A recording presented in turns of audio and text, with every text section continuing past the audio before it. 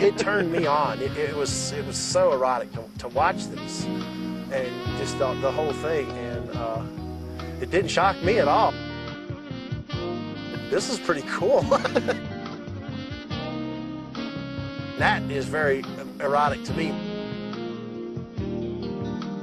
I was technically a virgin until I was 29 years old. I was a zoophile up until then, and I just basically didn't have much interest in uh, other members of my own species as far as a, a, life bond or anything.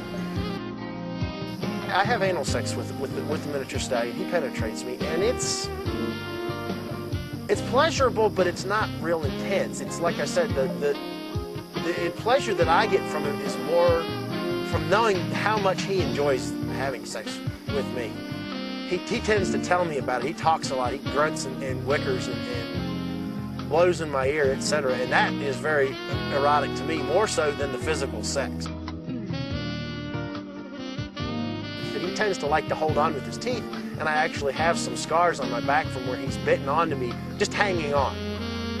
Uh, they do the same thing with mares when they have sex. And only mares have fur to hang on to. He tends to get a big chunk of skin with me. And that can be quite painful, but usually I don't even notice until after the fact because I'm so caught up in the moment. And then I get up to the house and Ellie says, Oh, I see you've been down fooling around. You've got a big bite mark on your back again.